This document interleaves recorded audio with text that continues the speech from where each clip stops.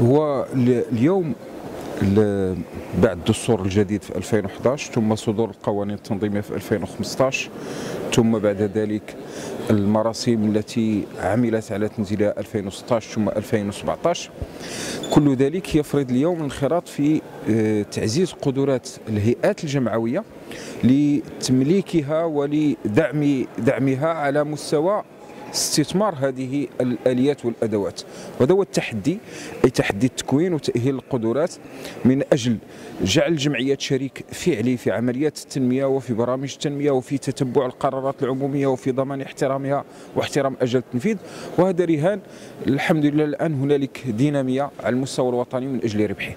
أو الدلائل التي المسار الذي كان